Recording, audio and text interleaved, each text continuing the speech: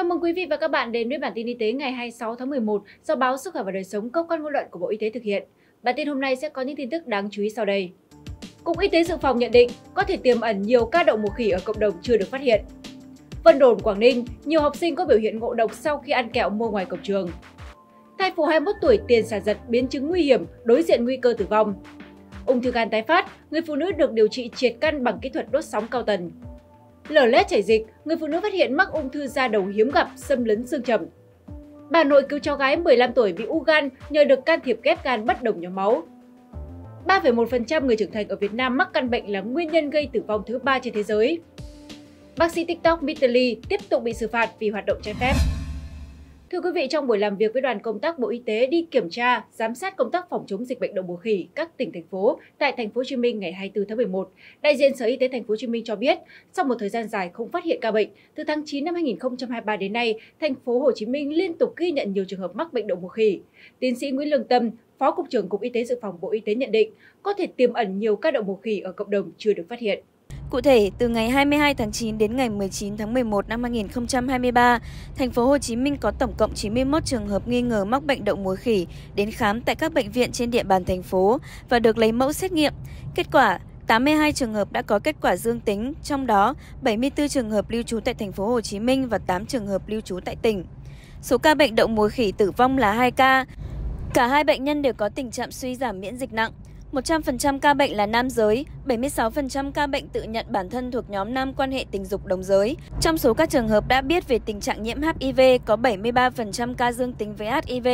Độ tuổi ghi nhận nhiều nhất là từ 30 đến 39 tuổi, 53%. Tuy nhiên, theo Phó Cục trưởng Cục Y tế Dự phòng, đến ngày 20 tháng 11, Năm 2023, Tổ chức Y tế Thế giới WHO đã ghi nhận 91.788 trường hợp mắc bệnh đậu mùa khỉ, trong đó có 167 ca tử vong tại 116 quốc gia trên toàn thế giới. Tỷ lệ tử vong là 0,18%. Hiện nay Việt Nam có 89 ca đậu mùa khỉ, riêng thành phố Hồ Chí Minh có 74 ca, trong đó có 2 ca tử vong. Tỷ lệ tử vong là 2,2%. Đây là tỷ lệ quá cao so với thế giới. Theo ông Nguyễn Lương Tâm, 73 ca đậu mùa khỉ thành phố Hồ Chí Minh chỉ là tảng băng nổi. Tảng băng chìm phải 700 đến 800 ca. Ngày nào cũng có bệnh nhân đậu mùa khỉ, khi xét nghiệm mới phát hiện ra. Theo tôi, thành phố Hồ Chí Minh còn có nhiều người mắc đậu mùa khỉ trong cộng đồng mà họ chưa đi khám để chúng ta phát hiện ra, ông Tâm nhấn mạnh.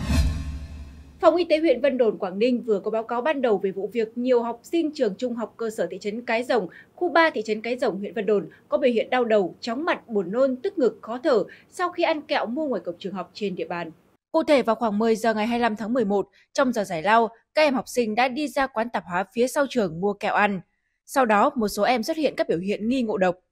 Sau khi xảy ra vụ việc, nhà trường đã giả soát và phát hiện có tổng 126 em sử dụng loại kẹo này, chủ yếu khối 8 và 9, trong đó có 5 em học sinh gồm CMV, NBI, NTH, NTH, BGK, xuất hiện biểu hiện tê môi, chóng mặt, tức ngực, khó thở. 121 em chưa có biểu hiện bất thường về sức khỏe năm em có biểu hiện được đưa đến trung tâm y tế theo dõi và điều trị. Đến khoảng 14 giờ chiều, sức khỏe đã ổn định và được đưa về nhà theo dõi. Theo thông tin ban đầu từ Ủy ban nhân dân huyện Vân Đồn, loại kẹo các em học sinh mua ăn có chữ nước ngoài, không có tem phụ tiếng Việt, được bách hóa gần trường bày bán. Ngay sau khi xảy ra vụ việc, Ủy ban nhân dân huyện đã chỉ đạo các lực lượng chức năng thu toàn bộ hàng hóa không rõ nguồn gốc xuất xứ để điều tra làm rõ, đồng thời gửi mẫu để kiểm tra thành phần có trong kẹo. Hiện phòng y tế phối hợp với trung tâm y tế huyện và các đơn vị có liên quan đang tiếp tục theo dõi, điều tra, giám sát vụ ngộ độc thực phẩm trên, đồng thời phối hợp với trường trung học cơ sở thị trấn Cái Rồng tư vấn cho các giáo viên, phổ biến cho học sinh nếu có biểu hiện nghi ngờ cần đến ngay cơ sở y tế để được khám và điều trị.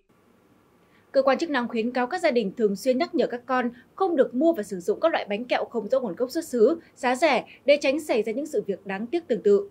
Trường học cần tăng cường giáo dục và nhận thức về an toàn thực phẩm cho học sinh, giáo viên và phụ huynh, cung cấp thông tin về lợi ích của chế độ ăn uống lành mạnh và giúp các em hiểu rõ về nguy hại của đồ ăn không rõ nguồn gốc, đồng thời khuyến khích phụ huynh tham gia vào quá trình giám sát và kiểm tra đồ ăn tại cổng trường.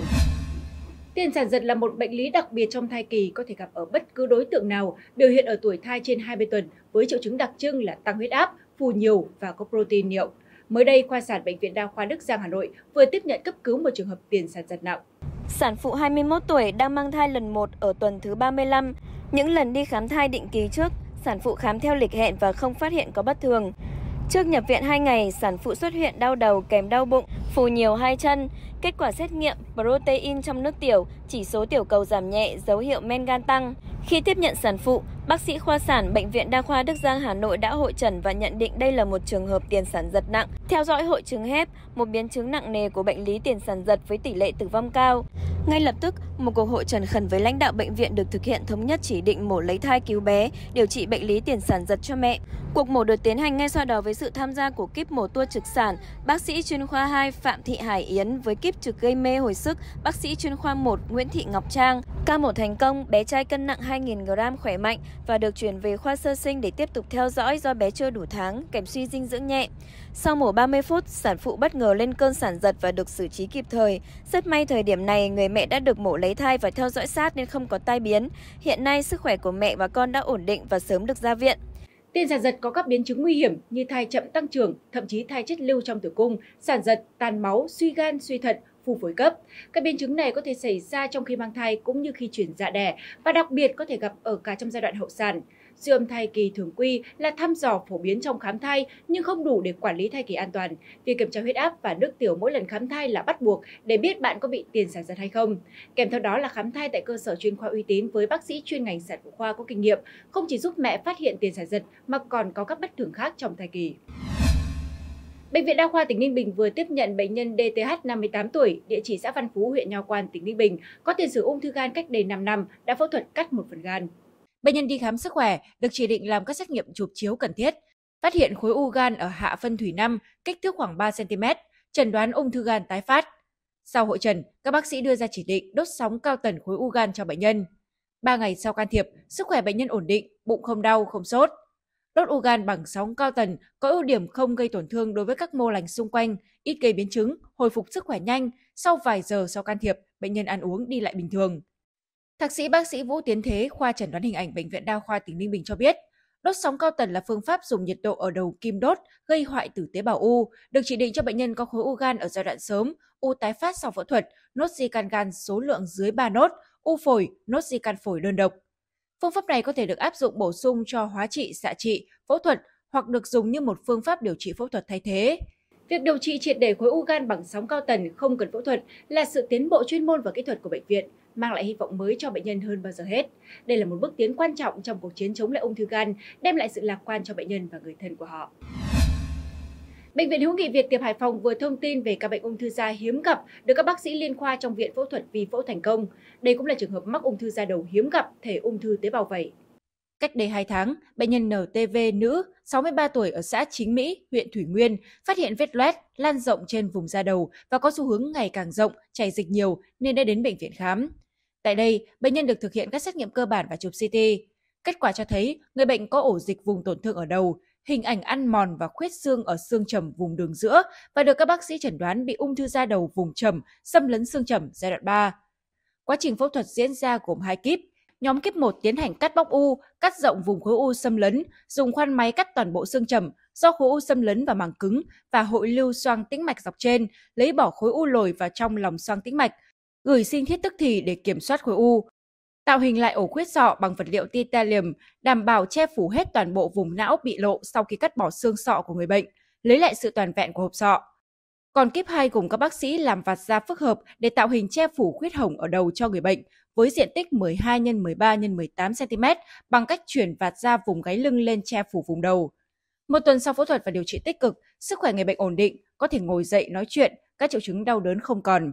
Tại Bệnh viện Hữu nghị Việt Tiệp, việc phối hợp đa chuyên khoa trong điều trị đã giúp giải quyết rất nhiều trường hợp bệnh lý khó như người bệnh trên, qua đó giúp nâng cao kết quả điều trị cũng như tiết kiệm kinh phí cho người bệnh, không phải chuyển lên bệnh viện tuyến trung ương.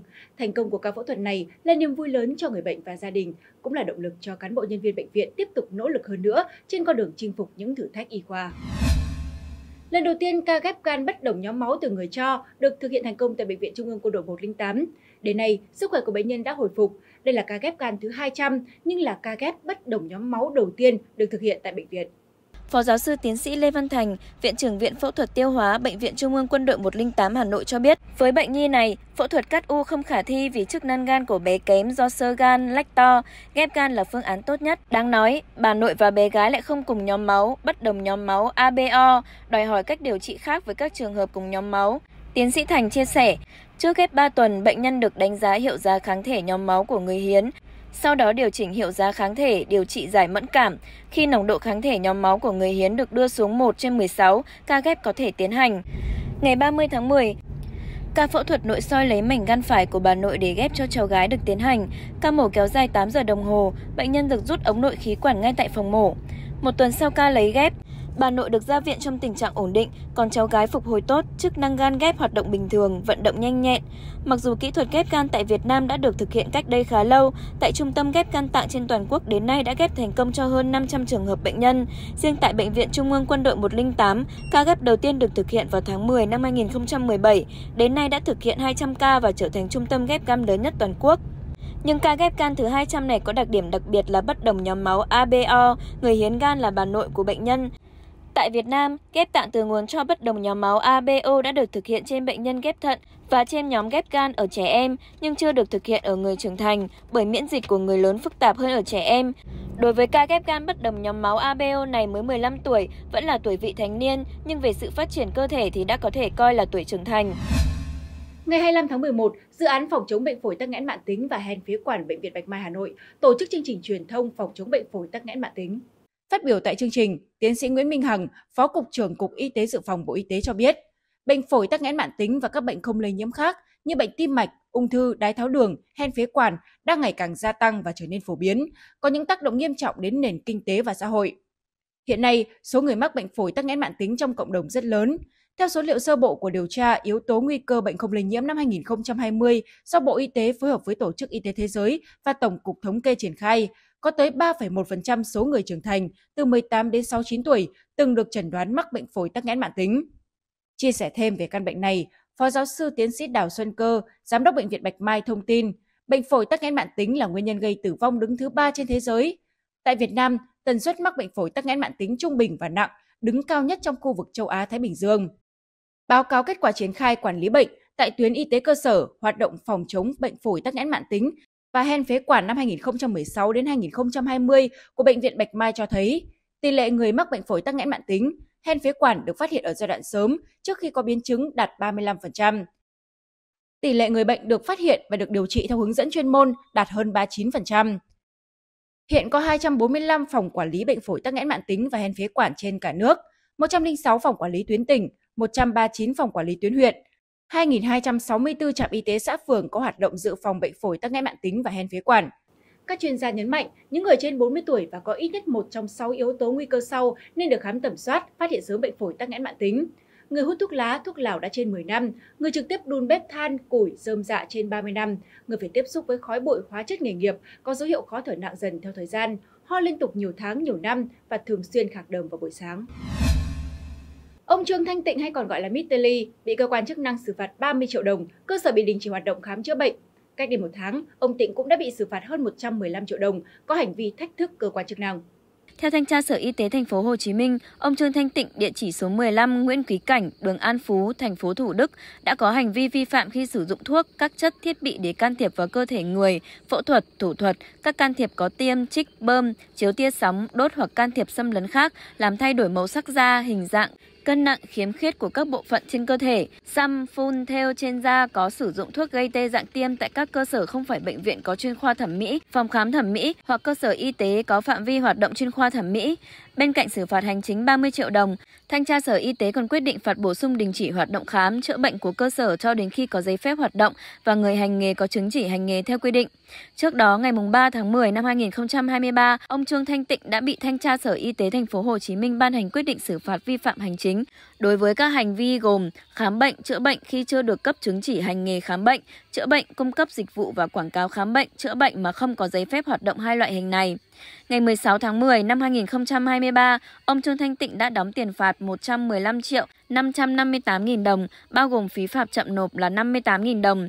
Tuy nhiên, ngày 15 tháng 11, Thanh tra Sở Y tế thành phố Hồ Chí Minh phối hợp với Công an thành phố, Phòng An ninh Chính trị Nội bộ, Phòng Y tế thành phố Thủ Đức và Ủy ban nhân dân phường An Phú, thành phố Thủ Đức kiểm tra đột xuất căn nhà có gắn bảng hiệu Mr. Lee thì phát hiện các tủ, kệ được đoàn kiểm tra Phòng Y tế thành phố Thủ Đức dán niêm phong ngày 13 tháng 9 năm 2023 đã bị mở. Trên bàn và các kệ tủ trong phòng có các thiết bị y tế còn mới đã được sử dụng, các hộp sụn mũi, kim tiêm tiêm đã qua sử dụng, đang chờ tiêu hủy. Thông tin vừa rồi cũng khép lại bản tin hôm nay. Cảm ơn sự quan tâm theo dõi của quý vị. Xin chào và hẹn gặp lại!